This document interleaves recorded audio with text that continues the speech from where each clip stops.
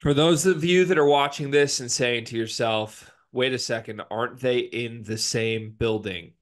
Yes, you're correct. Uh, Carter is a room over from me right now with a closed door in between us, but the grind does not stop.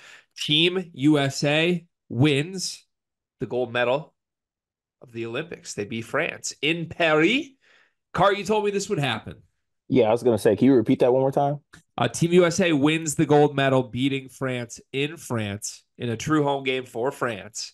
Mm-hmm. And uh, you told me this would happen. Yeah. Uh, so are you? I, I don't understand why we even had this little dance that we did about the Olympics when USA was minus what sixteen hundred to win it all for a reason.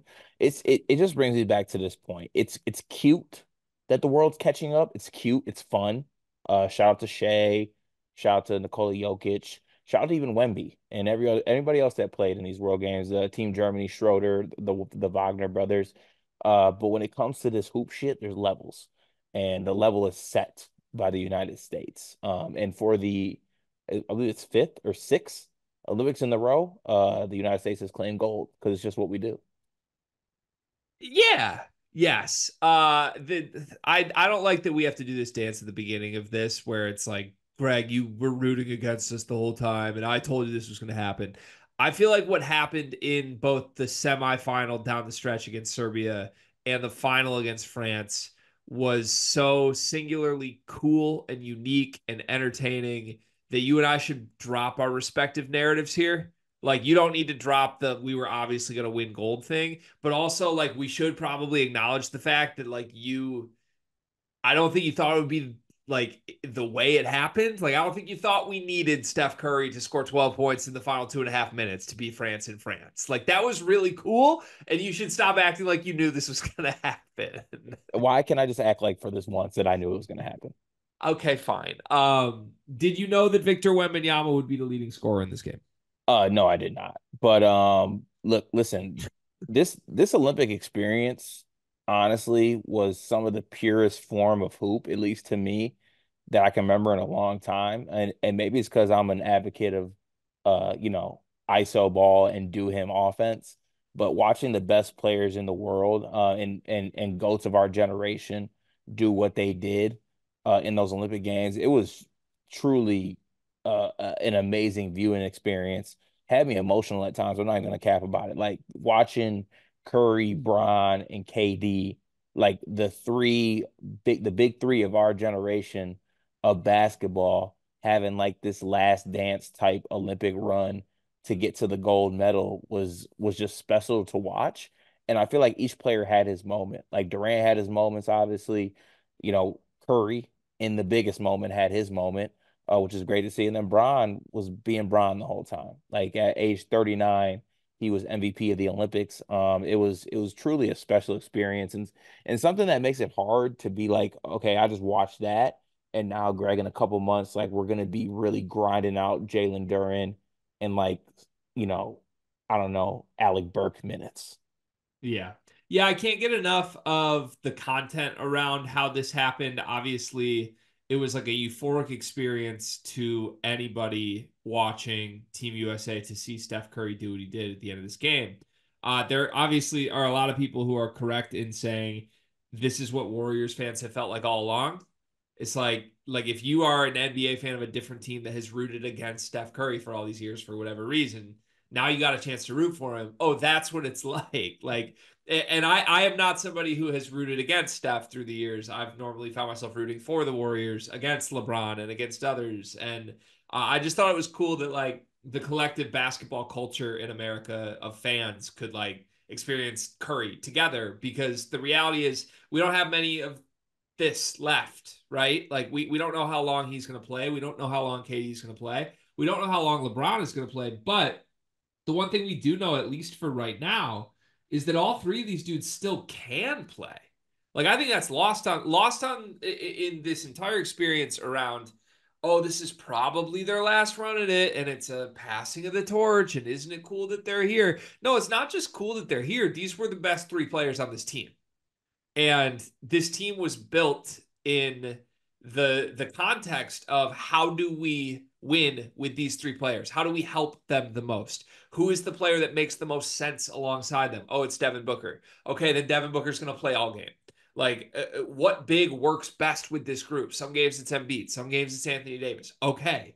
Like, sorry, Jayson Tatum, you don't make a lot of sense with these guys. You're going to come off the bench. Like, it just all these decisions were made leading up to this. And even in the early stages, the group stage and the exhibitions, it felt like it wasn't true. Like, there was discussion back at the beginning. It's like, oh, well, Ant's the leading scorer. Is Anthony Edwards the best player here? No, when when it came time, LeBron James and Steph Curry and Kevin Durant were going to decide what happened to this team, and they did. And it was cool. We talked about in the Serbia recap. It was cool how they like navigated that together. And then in this game, man, the clip of of Steph hitting the fourth one, the fadeaway over two defenders, has obviously gone viral. He hits the night night, the nui nui, or however you say yeah, it. Nui, nui. And but you you see that one angle, like LeBron and Kevin Durant arguably the best player ever and arguably the best scorer ever, are standing there wide open. And Steph Curry takes a double team fade away from the parking lot, and nobody even would ever insinuate it's a bad shot because of how great he is. That was just cool to watch play out. And I think basketball purists, basketball fans everywhere could appreciate that. Yeah, because like coming into the Olympics, there was somewhat of a narrative that like they were going to be uh, the quote unquote old heads on the team, and there was going to be like a handing of the torch. No. But towards as the Olympics played out, it was like, oh no, these guys are still here. These guys are still the cream of the crop of the NBA, especially in American basketball player terms. And like there was this like, oh, maybe shift it to the next generation, to the Tatum's, the Halliburtons, and uh, you know the Ant Edwards of the world. And Ant had his moments. Don't get me wrong. Ant was a part of the rotation. Uh, but besides that, like it was more so just like LeBron, KD, and Curry just showing their greatness. Yeah. You know how like I mean, you're an aux cord aficionado, right? Like, you know how at, at a party. Why would you ask me that? I'm just stating it so people that don't know you will know. I knew you knew this, but like, let's just say, you know, you're at a party and you, uh, the boys are there, the pregame, obviously the girls come over, but like, carts on the aux. You know, you're going to play something to everybody. Do you ever have that thing where like, you know, after four or five songs, like every six songs, you got to play one for the girls? Yeah. Something like that. Yeah, oh, yeah, yeah, yeah. And then you come back, and then when it's winning time, when it's final 10 minutes before we go to the bar, like, you know, the hits are coming out, right? Of course.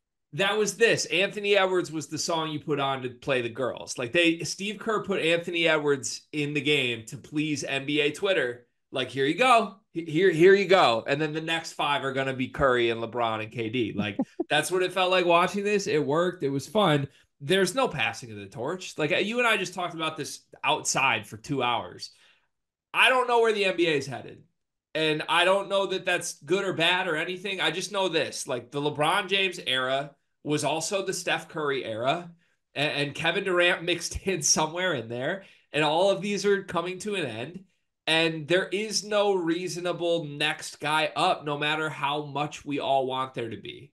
And that makes it exciting and cool and fun.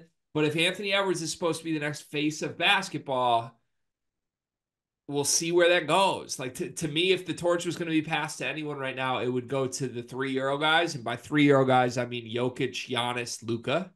Both of, uh, I mean, all three of those guys have had deep playoff runs, uh, two championships in there. We'll see what Luka can do in the next couple years, but like to me that those are the people who are running this sport and inheriting it. It's going to be up to the US to figure out where they go next and somebody named Victor Wembanyama is going to have a big say in things as well. Um I did workshop this a little bit with you earlier and I feel obligated to go there. Do you are you able to like process what happened in this Olympic tournament and kind of contextualize it in the like where do LeBron and Curry rank all time conversation? Because like an Olympic gold medal, the way they won this, I think is like a resume moment, but these two have kind of competed with each other for resume stuff. Like how, what what happened this week? What does that mean to you as far as their legacies go? The the thing is, like as I was watching it, I never found myself comparing it. Like I, I, I don't know if it was just like I was in the moment and I was just enjoying it for what it was, but I was just like, oh, it's Curry and Bron. It's not. Is it Curry or Bron? It was like no, it's Curry and Bron playing as one finally, playing with each other after all these battles, all these years. Um, and you know, you get to the end of it, Curry has his moments. Uh, Curry basically, you know, he had his he closed the deal. Like he was, the, the guy. He was the Yeah, guy. he, he was he was the guy when it came to winning time and came to to winning the gold medal. But at the same time, like Anthony Edwards made a joke. Uh, they were wondering where Curry was two weeks ago. Like they didn't know where he was. Yeah. But when it came to this time, he had his moment. And and Bron is Bron is Bron, man. Like, yeah, Olympic MVP for a reason. Uh, he was integral to this team. I don't know. I just I, I found myself watching it and I was just appreciating just Curry and Bron playing together, to be honest Yeah. with you. I was too. I, I don't mean to say I wasn't just enjoying it and appreciating it, but like Mhm. now that we are through it, LeBron wins MVP of the Olympics, which I think was deserved.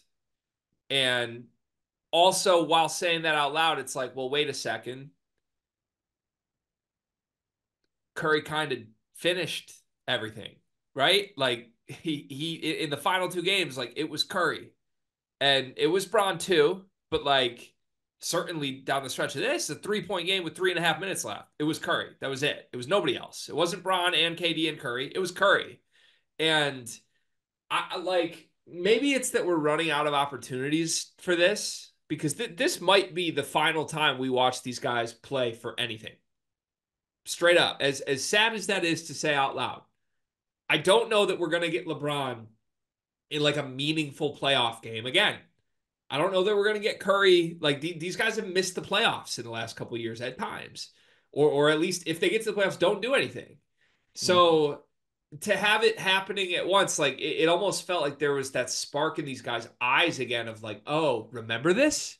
Remember when I was the baddest in the world, and like this is what was going on, and it, it certainly still could happen in the NBA. Like maybe it's not done. Maybe they'll be on the Olympic team four years uh, from now again. I don't know, but it was just so compelling to me that like for two players taking Kevin Durant out of it, Bron and Curry have basically gone at each other their whole careers. And even if one of them or both of them wouldn't admit it at times, like they were each other's biggest obstacle. It wasn't anybody else. And I think in a lot of ways, even if it's not acknowledged, they've been equals. They have the same number of rings. They do everything so differently. But the, to me, like legacy wise, you're talking the second best player or first best player ever, and a clear top 10, maybe best point guard ever. And it was just really fascinating for me. Like, if this is our modern version of like Bird versus Magic, when it came time, one deferred to the other completely. Like, I, and, and Bron was the MVP. But like, shit, man. Like, I don't know how you watch what Curry did. It made me appreciate Curry maybe more than I ever have. Because I'm like, holy shit, on a team with LeBron, it was Curry. I didn't think that would happen. You know what I mean?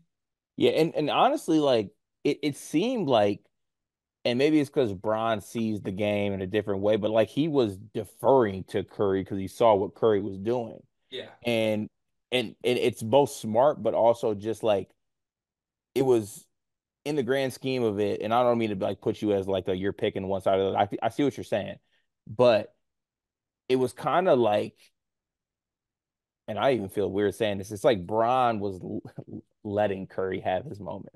Like, oh, Bro- like, like, Bro- I'm sorry. Like, Bron is Bron's done No, you- He we- he had his gold medal, so like he's letting Curry have his moment. we got to get you to therapy, man. This is unacceptable. The way you interpret certain things that happen from certain guys that seem to be your favorites is a little. LeBron let Steph Curry make four threes in a row to ice the game in a one possession game. He he let him have his. Bron's Yeah, been. LeBron What is let this? him do that. What is, is this? What is this? Bron's third gold medal?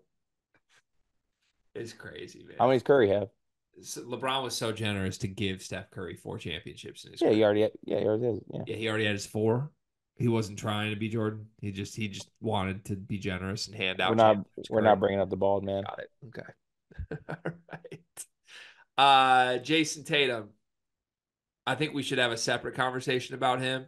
What But, about uh, him? Just to be extremely clear, I would like to say this. Uh, in the gold medal game, Jayson Tatum played the seventh most minutes on the team.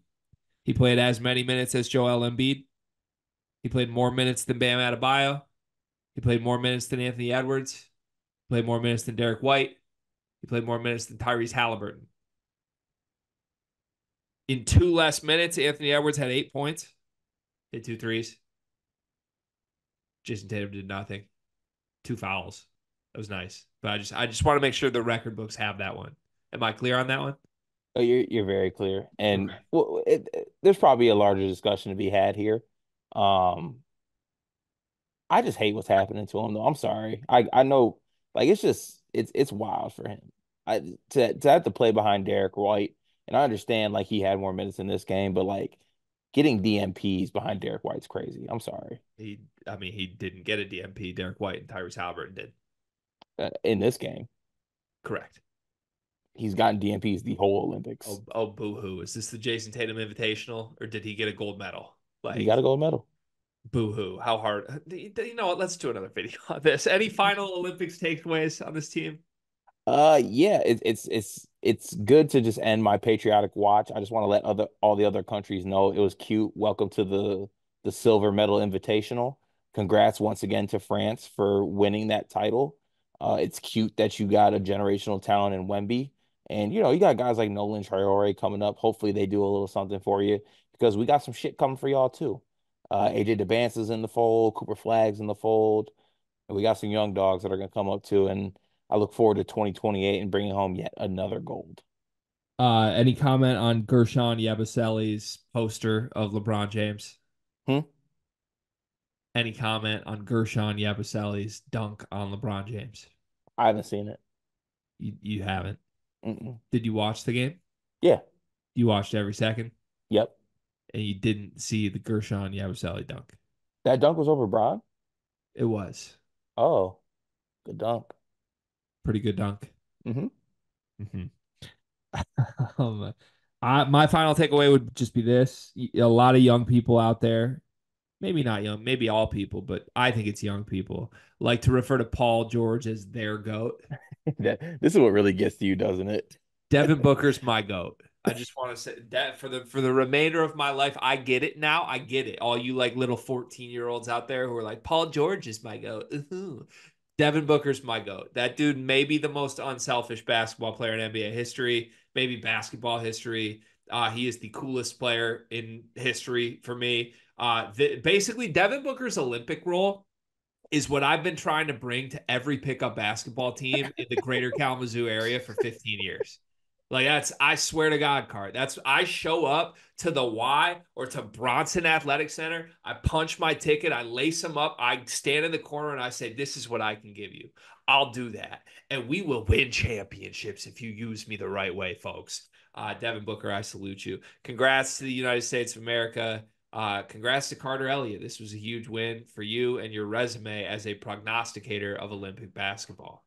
It's that time, Cart. Football season is approaching, and you know exactly what that means. It means that we are both going to bet and bet a lot with our friends at MyBookie. Yeah, MyBookie is the best and premier sports book used by us over here at Sleepers Media. They have everything you need, Greg, with football season approaching there's nothing I love more than looking at a nice Saturday slate and even leading into a little bit of Sunday, dipping into NFL. But there's no better place to do it than with MyBookie. And I think we got a great offer for the folks over uh, at MyBookie if they want to tap in with us. We sure as hell do. And I'm going to tell you all about that offer. But first, I'm going to tell you a little bit more about the great benefits of betting with MyBookie. MyBookie is safe, secure. Most importantly, when you win, you get paid quick. If the first two legs of your parlay hit, cash out early, use those funds on another bet, or let it ride for a chance at a bigger payday. With football season coming, they're going to have a bunch of great things in store for you, whether you're looking to bet futures, game lines, player props, all of it is available with our friends at MyBookie. And you can get a 50% deposit match up to $1,000. There's a link in this description, promo code SLEEPERS with MyBookie. Make sure you get that 50% deposit match. Use those funds, maximize your chances of winning as football season gets here, and we'll be there with you every single step of the way.